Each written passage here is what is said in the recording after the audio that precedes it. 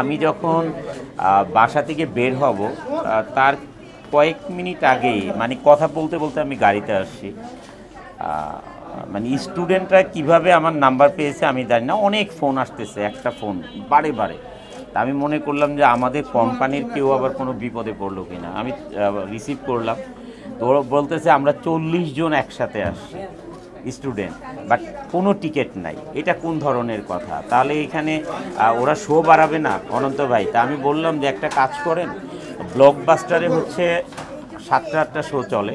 তা আপনারা ওইখানে চলে যান, ওইখানে টিকিট পাবেন। তারা যদি শো না বাড়ায়, তাহলে কি করবে কয়, আমরা এইখানে আসি, যেহেতু শো পাবো না। আমি বললাম আচ্ছা আমি দেখি। রেবেকা আপুকে ফোন করলাম যে, দেখেন তো বাইরে দিয়ে কি অবস্থা। মানুষ টিকিট পাচ্ছেন আপনারা শো বাড়াতে পারেন না। তখন বলছে, অনন্ত ভাই, আমি দেখছি। বাইরে দিয়ে উনি যে ঠিকই আমাকে ফোন করছে, যে অনন্ত ভাই, অনেক লোক টিকিট পাচ্ছে না। ইনশাল্লাহ আমরা শো বাড়িয়ে দিব। ভীষণ ভালো লাগছে, কারণ আমার সামনেই তো ওরা বলছিল, আমি শুনছিলাম। আসলে এটাই হচ্ছে একটা শিল্পীর জন্য অনেক বড় পাওয়া। কারণ মূলত আমরা সিনেমা বানাই হচ্ছে দর্শকদের জন্য।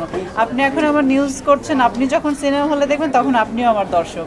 সো ভালো বলবে, খারাপ বলবে, এটা হান্ড্রেড পার্সেন্ট দর্শকেরই রাইট আছে তারা বলার, কারণ তারা বলার জন্যই পেইড করে তারা বলে। টাকা দিয়ে তারা সিনেমা হলে ঢুকে আমাদের নিয়ে মজা করার জন্য। আর সিনেমাটা হচ্ছে বিনোদনের জিনিস তারা মজা করবে। সিনেমা হলে বসে তারা হাসবে কি কাঁদবে এটা সম্পূর্ণই তাদের ব্যাপার। এটা নিয়ে আসলে তেমন কিছু নেই বাট খুব এনজয় করেছি এবং খুব ভালো লাগছে। আরেকটি বিষয় হচ্ছে যে আপনার অনেকেই আছে যে দুই একদিন ধরে আসছে কিন্তু টিকিট পাচ্ছে না। দেখা যে না এটা সারা এটা প্রথম দিন থেকেই কমপ্লেন দেখলাম ঈদের দিন বিকেল রাত থেকেই বিভিন্ন জায়গা থেকে আসছে যে আমরা টিকিট পাচ্ছি না টিকিট পাচ্ছি না। বাট আমরা লাইক যেখানে স্নেপলেক যেগুলো আছে ব্লকবাস্টার যেখানে আছে এবং এখানে যেখানে আমি দাঁড়িয়ে আছি সনি সিনেমা হল এইগুলোতে অপশন আছে যে আপনার একের অধিক স্ক্রিন বাড়ানোর। কিন্তু লাইক মধুমিতাতে তো এই অপশনটা নেই। আর কালকে মধুমিতাতে ছিলাম, ওই শোটাও হান্ড্রেড পার্সেন্ট হাউসফুল ছিল। আর তারা বলছে যে ঠিক আছে আমরা দু এক দিনের মধ্যে এই শো বাড়িয়ে দিব। কারণ আসলে এটা খুব বেশি হয়ে যাচ্ছে যে মানুষ সবাই এসে রিটার্ন যাচ্ছে টিকিট পাচ্ছে না টিকিট পাচ্ছে না। আচ্ছা আরেকটা বিষয় হচ্ছে যে দর্শকের এত আগ্রহ তার মানে আগ্রহ দেখে আপনাদের কেমন লাগছে? ভীষণ ভালো লাগছে। দর্শক আসলে শুরু থেকেই সেই খোঁজ দ্য সার্চ থেকেই মানুষ আমাদেরকে জানে যে ওনাদের সিনেমাটা ডিফারেন্ট হয় অন্য কারোর সাথে মিলে না।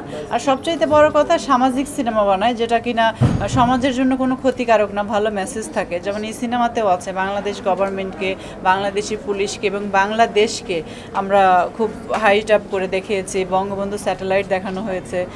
সো ইয়া অ্যান্ড সমাজে একটা জিনিস খুবই বেশি খারাপ যেটা কিনা পরকীয়ার যে বিষয়টা মানে এই জিনিসটা মানে এটাকেও তুলে ধরা হয়েছে। Thank you thank you so much okay